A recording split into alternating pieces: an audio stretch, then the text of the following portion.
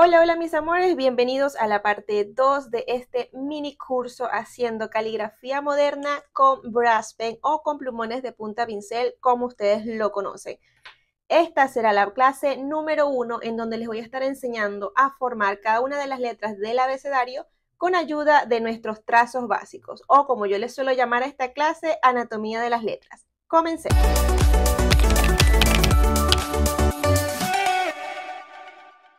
Por supuesto que cada uno de los trazos básicos que aprendimos en la clase anterior solo nos sirven para hacer las letras en minúscula. Así que vamos a comenzar con la letra A. Ayudar de este trazo que es un óvalo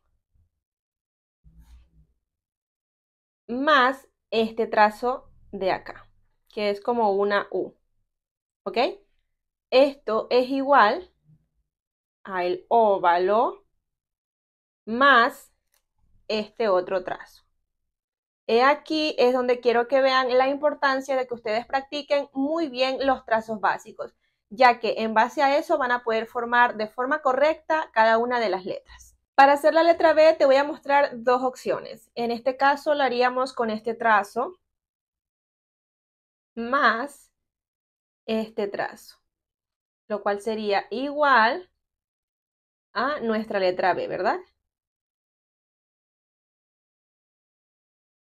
La otra opción que tienes es este trazo más este mismo trazo.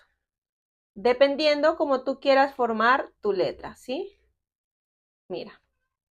Y así hay infinidades de formas en las que la puedes hacer, pero en este caso yo te estoy mostrando lo más básico hasta que tú pues vayas tomando tu propia forma de hacer las letras. Para la C yo siempre me guío con el óvalo.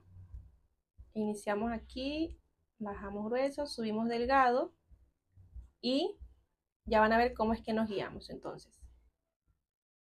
Así mismo iniciamos con el óvalo y en vez de cerrarlo aquí lo que vamos a hacer es a sacar el conector hacia acá afuera. ¿sí? Entonces si tú practicas muy bien el óvalo vas a saber hacer la C. Para la letra D también te voy a mostrar aquí dos opciones de cómo la puedes hacer, al igual que hicimos con la letra B vamos a utilizar este trazo que es el óvalo más este trazo que sería igual al óvalo y este trazo. Y aquí lo que debemos de manejar nosotros es que debemos de sacar siempre el conector. Cuando yo he dictado este curso, mis estudiantes pues siempre se olvidan de lo que es sacar el conector. Entonces, este sería el riesgo que tú corres al querer formar la letra D con estos dos trazos, pero sin embargo es una opción. La otra opción es la siguiente. De hecho, te voy a mostrar tres opciones. Entonces sería el óvalo más este trazo, que es como una U, sería igual. Entonces al óvalo. Y lo que haremos con este trazo es alargar esta partecita de aquí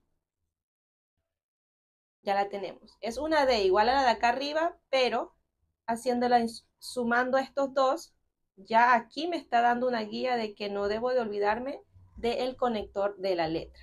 La otra opción sería hacer el óvalo más este trazo de acá. ¿Sí? Que al igual que como hicimos con este trazo, debemos de tener en cuenta para no olvidarnos que tenemos que hacer el conector. Pero lo que nos ayuda este trazo es que podamos hacer la letra D de una forma diferente, un poquito más detallada. Entonces sería esto igual al óvalo más este trazo. ¿Sí? Bueno, vamos a hacerlo un poquito más acá para que pueda sacarlo mejor. Y aquí viene el trazo, miren. Y no olvidarnos de sacar el conector. ¿Ok?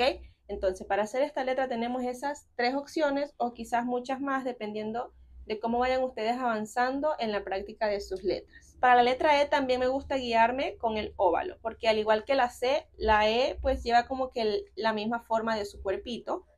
Lo único es que nosotros vamos a entrar un poquito. Entonces acá tenemos el óvalo que sería igual a la E. En vez de salir desde aquí, vamos a salir desde acá adentro, ¿verdad?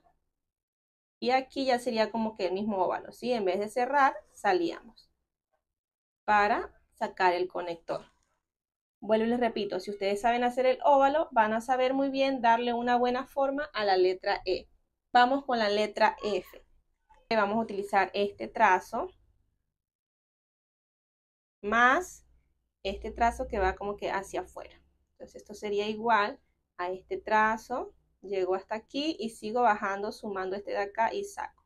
En este caso, ya depende de mí recordar que todas las letras deben de llevar este conector. Para la letra G también haremos el uso de estos trazos. Entonces sería el óvalo. Vamos a hacerlo por acá para no cambiar de hoja.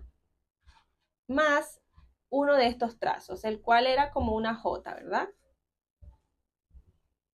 Este de aquí. Entonces sería igual a el óvalo más este trazo. Y aquí también debemos de recordar que no nos podemos olvidar de sacar el conector. Para la letra H te voy a mostrar dos opciones de cómo hacerla también y nos vamos a quedar hasta esta letra para después continuar en el próximo video. ¿ok? Para que no se haga muy largo esta clase y ustedes puedan ir a practicar estos trazos. La letra H podemos hacerla con este trazo.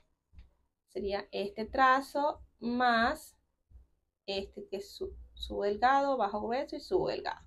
Entonces esto sería igual a este trazo más este trazo de acá. ¿Ok? Ahora lo podemos hacer también con este trazo.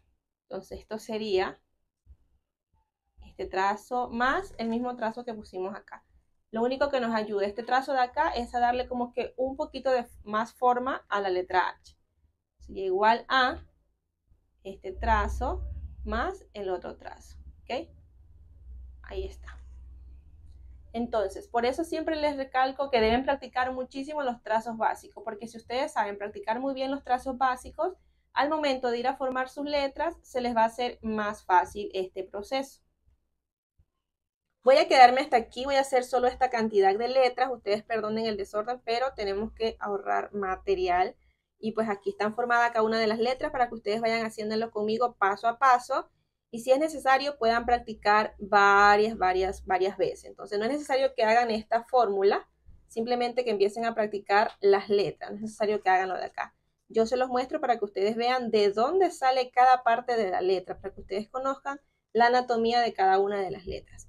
Entonces vayan a practicar y si no están dentro de mi grupo de Telegram, escríbanme para darles acceso para que por allá ustedes envíen sus prácticas y yo poderles estar revisando, estarles corrigiendo y decirles dónde están bien, dónde están mal, porque la intención no es dejarles aquí simplemente este video, sino llevarles paso a paso todo que ustedes puedan hacer perfectamente sus letras.